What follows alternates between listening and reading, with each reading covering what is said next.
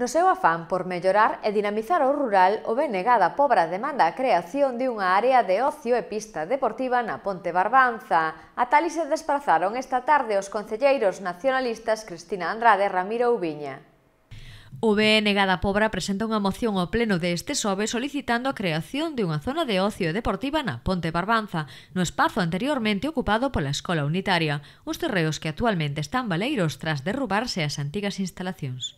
Tirou abaixo, derrubouse e desapareceu físicamente. E de, eh, digo que é curioso porque, por exemplo, temos a dos casás que son únicamente quedan os muros arriba, pero siguen estando os muros ali. Ben, como se ben se ve, aquí hubo un intento de crear unha especie de, de zona de lecer deportiva eh, con unha mini pista ou unha pista para, para varios deportes, como pode ser baloncesto, balonmán e incluso futbito, pero que está totalmente abandonada eh, sabemos, mm, os veciños da Ponte de Barbanza, os veciños da Pobra, sabemos que esta escola estivo aquí eh, hasta finales dos anos 1990, prácticamente entrando no 2000, donde incluso hubo contactos dos, dos, dos mandatos eh, municipais de, daquela época para falar cas asociacións de veciños e tratar de como se, se iban a utilizar aquelas instalacións da escola e posteriormente as pistas incluso que estaban a, a Carondela.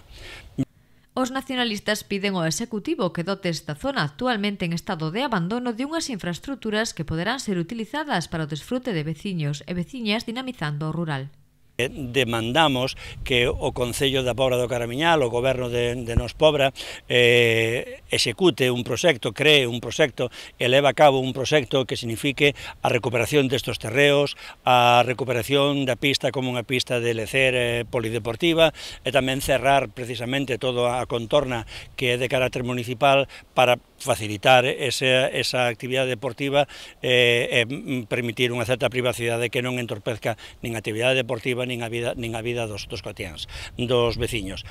Piden ademais que se melloren os accesos a esta finca municipal que actualmente se atopan cubertos de maleza.